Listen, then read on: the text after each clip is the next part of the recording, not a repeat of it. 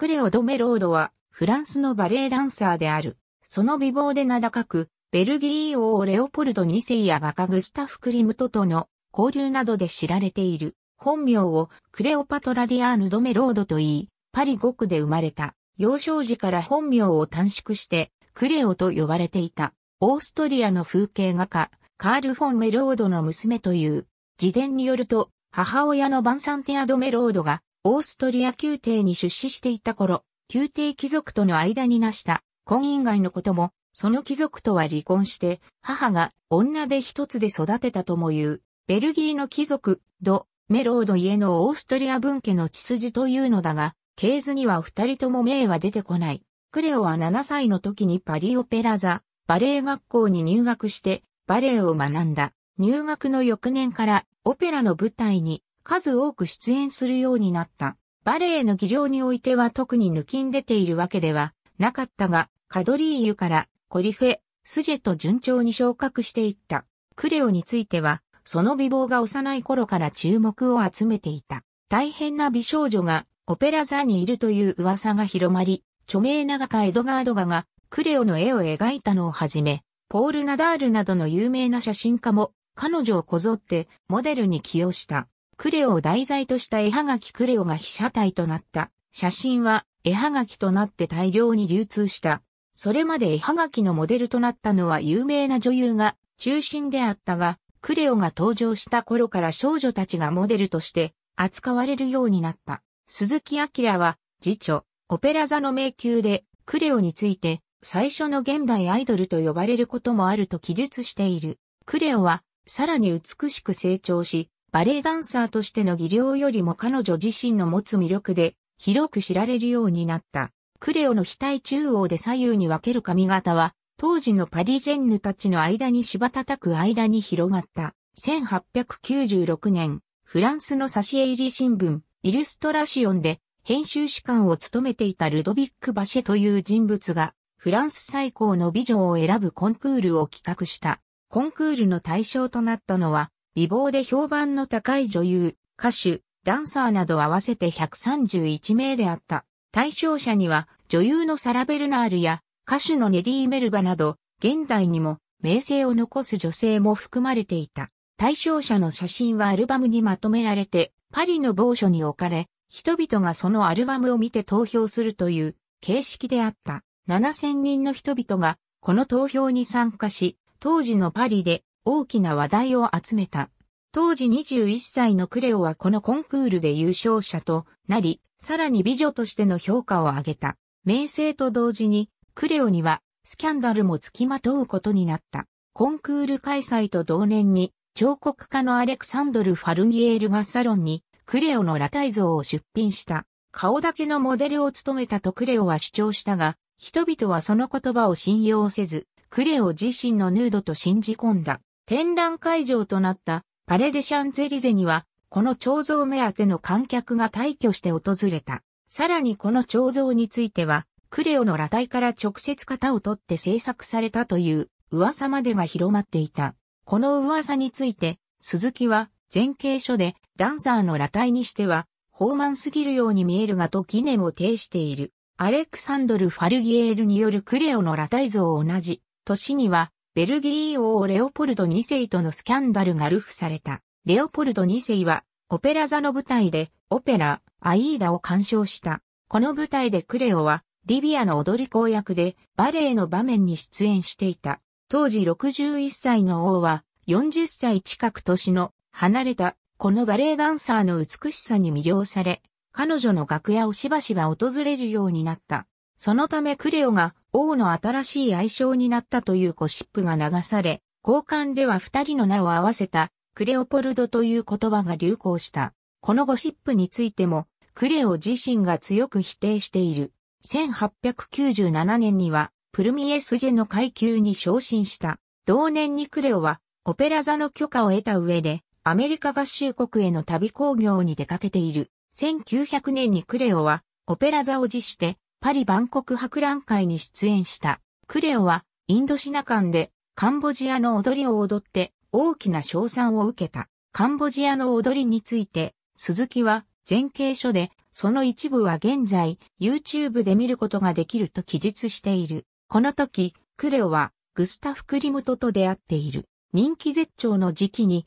クレオはホリーベルジェールへの出演を選んだ。クレオはホリーベルジェールなどのミュージックホールでソロのダンサーとして出演を続けた。現役ダンサーとしての舞台は1934年のアルカザールでの公演が最後であった。引退後のクレオは急速に世間から忘れ去られることになった。クレオの名が再び世間の注目を集めたのは1950年のことであった。その原因となったのは1949年6月に刊行されたシモーヌとボーボワールの著作第2のせいであった。この中でボーボワールはクレオを取り上げた上で貴族を語った高級娼婦と記述した。それに対してクレオは名誉毀損として裁判を起こした。裁判はクレオの勝訴という結果に終わり、ボーボワールには賠償が命じられた。ただし、この賠償金はフランサンボリックといって額面のみで実際には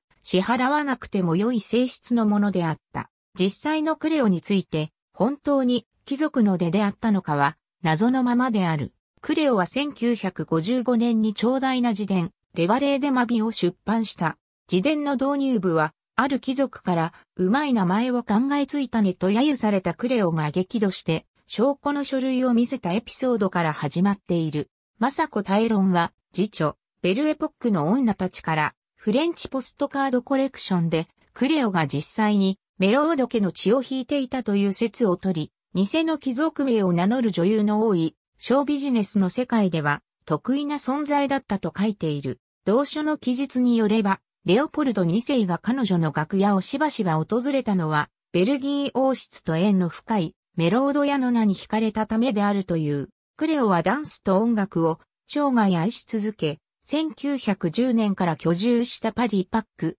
テーラン通り15番地の自宅で91歳の長寿を保った。その晩年年は穏やかなもので、死後はペール・ラシェーズ墓地に埋葬された。幼年期の節ですでに記述した通り、クレオのバレエダンサーとしての技量は傑出したものではなかった。オペラ座での最高の当たり役は、ベルギー出身の振付や、ジョゼフ・エンセンの花嫁役であり、助演クラスの役柄に過ぎなかった。クレオが歴史に名を残したのは、一重にその美貌によるものである。レオポルド2世やクリムトだけではなく、数々の王侯貴族や有名人がクレオを崇拝し、講演者となった。ただし、自伝によればクレオは極めて身持ちの固い女性であり、母親に見守られながら崇拝者たちの誘惑をことごとく退け続けてきたという。彼女がベルエポック期におけるクルチザンヌと名指しされたのは、レオポルド2世とのゴシップによると言われる。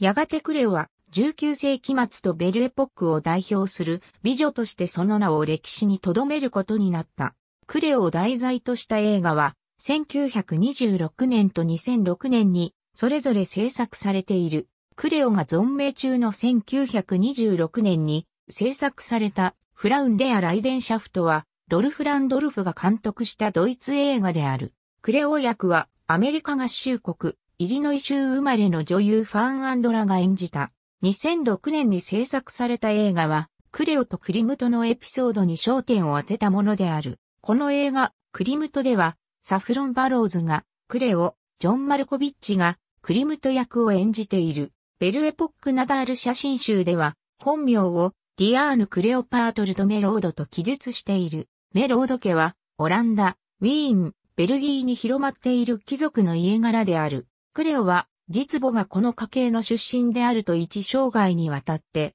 主張を続けていた。カドリーユは主にコールドバレエの役割を務めるダンサーが所属するコリフェ、パリオペラザバレエ団の階級では、カドリーユの上で、筋の下、コールドバレエを踊るダンサーが所属するが、作品によってはソロに抜擢されることもある。 sujet、パリオペラザバレエ団の階級では、 coryphée の上で主にソロを踊るダンサーが所属する。作品によっては、主役級を任されることもある。シュジェと表記される場合もある。クレオが所属していた頃のパリオペラザバレエ団の階級では、踊り手の最上位であり、現在の première danseuse と同意語である。エトワールという言葉が使われるようになったのは19世紀末である。結出したスジェやプルミエルダンスーズを形容する言葉として使われていた。ただし、当時は正式の階級を指す言葉ではなかった。エトワールは1897年5月31日に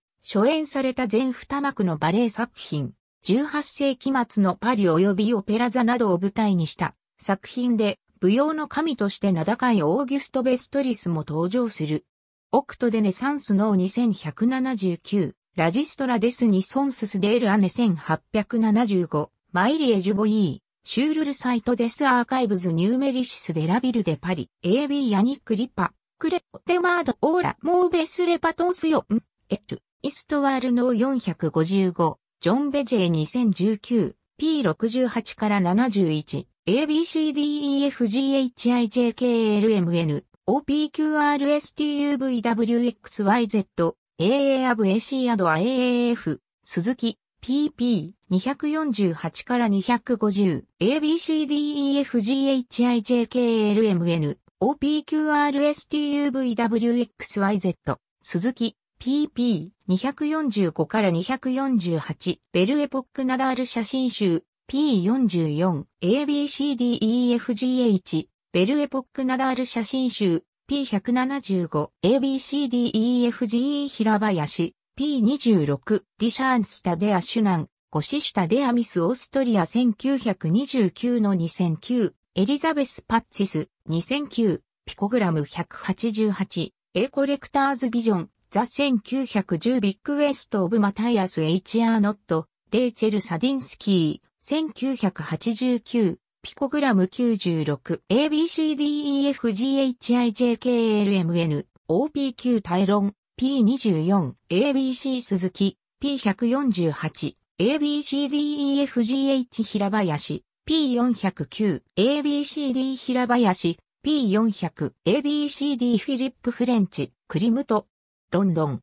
The Observer、http コロンスラッシュスラッシュ www.guardian.co.uk スラッシュ film スラッシュ2007スラッシュ jun スラッシュ03スラッシュ features.review87201 年6月25日閲覧、ガーベル、マイケル D、 Cléo de Mérode the Rise of Modern Celebrity Culture、 Ashgate Publishing、Limited、P38、ISBN 14億940万6032、 Paris for Free、Père Lachaise Cemetery。Women's Travel Abroad、2016年3月31日、閲覧、平林、PP、361から362、平林、PP、361から388 ABCD ウ国 P5 AB フィルムポートルでクリエイティブトラベルプブラケーションス2016年3月31日閲覧クリムト2016年3月31日閲覧ありがとうございます。